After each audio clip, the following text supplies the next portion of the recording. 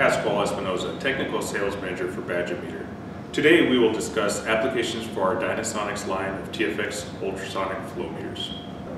Flow meters come in many shapes and sizes with key advantages and disadvantages in each typical technology. For ultrasonic clamp-on flow meters, some of the biggest advantages are low cost of ownership for large lines.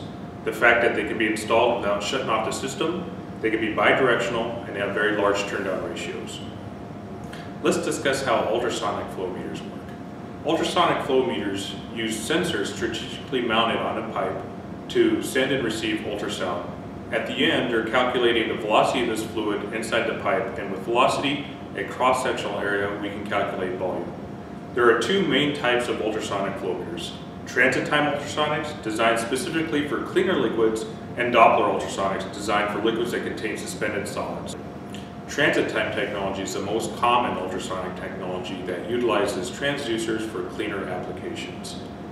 Also known as time-of-flight ultrasonic technologies, ultrasounds are being sent using pulses in both directions of flow.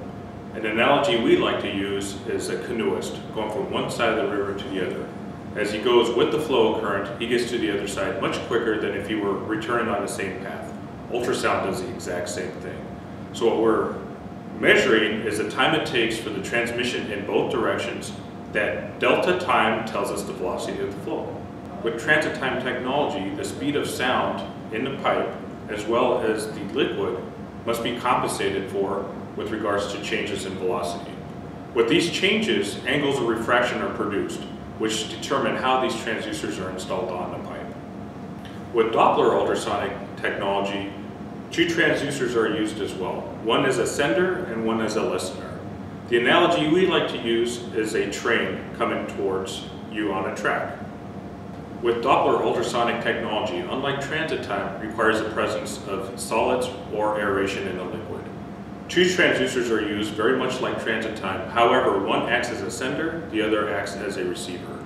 As a sender of these ultrasonic frequencies hit the artificial reflectors contained in this liquid, Doppler shifts produce a velocity difference in the liquid. Let's now get into transit time applications. So where do transit time flow meters work? Well, we know that the liquid has to be sonically conductive, it has to be single phase, it's got to be homogeneous, and it's got to have Reynolds number above 4,000. Pretty wide variety of applications. Typically, liquids that contain a fair amount of suspended solids, say more than 10%, are reserved for Doppler ultrasonic technologies.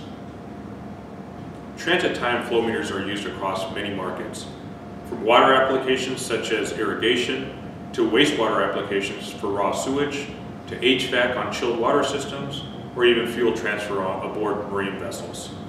Let's discuss some of the most common applications.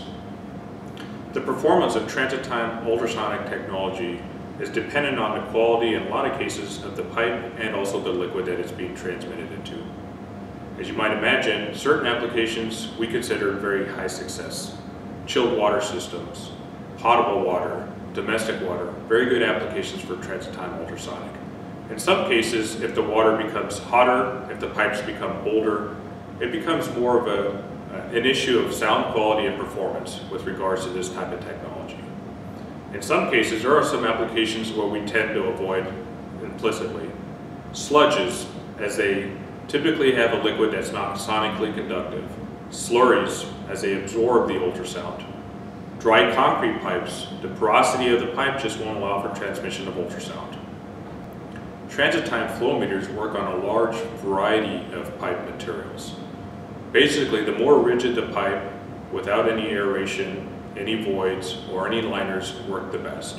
Stainless steels, plastics, PVCs, carbon steels, coppers are all good quality transit time pipe applications.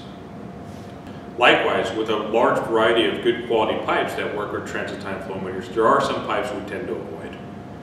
Pipes that are concrete on the exterior, pipes that have foam core liners, some FRP pipe, also known as fiberglass reinforced pipe, tend to be poor conductors of ultrasound. So what does Badger-Meter offer with transit time ultrasonic technology? Badger-Meter offers several different fixed units as well as portable units. Today we're going to discuss the TFX Ultra line. Some common features of our Dynasonics TFX Ultra transmitter is that it has accuracies of 1% of reading and repeatability of 0.5%. It's got a large turndown ratio bidirectionally from 40 to 1. The TFX Ultra is equipped with a, a rugged enclosure, weatherproof. It includes a wide selection of outputs as well as Ethernet IP. It can be configured with or without a keypad. It supports all of our transducers that we offer using transit time technology. And as far as mounting configurations, there are a wide variety that can suit many different application needs. There are two main transmitter types with the TFX Ultra. We can do a basic flow meter model, which is utilized as a transmitter and some transducers to give you a volumetric reading output. We also offer this product with a BTU metering system, which includes transducers for flow and transducers for temperature to be able to offer a hydronic heating and cooling opportunity. The Dynasonics TFX Ultra and TFXL have hazardous rating certifications of Class 1 Division 2. We do have options for a Class 1 Div 1 environment through the use of our transducers that include intrinsically safe barrier. With the TFX line of ultrasonic flow meters, we offer several transducer styles to fit your application needs. We offer our DTTC and DTTS transducers for small pipe integral units from 2 inch and smaller line sizes. We also offer our DTTR, DTTN, and DTTH for applications that could be submersible or high temp applications, 2 inch and larger line sizes. And then finally, we reserve our DTTL transducer for pipe sizes of 24 inch and larger. The largest we've done is a 96 inch line. Transducers come in a wide variety of cable and conduit options to fit your application need. For example, if you have a transmitter situated 100 feet away from your measuring pipe solution, that certainly could be an option. As far as ruggedness, we could certainly supply the cables with Anaconda Sealtite, which is a flexible armored conduit for durability and maximum life. To recap, the Dynasonics line of ultrasonic flow meters is a very universal and flexible device that can be mounted on a wide variety of pipe sizes, materials, and liquids to provide a completely non-invasive solution in a retrofit application.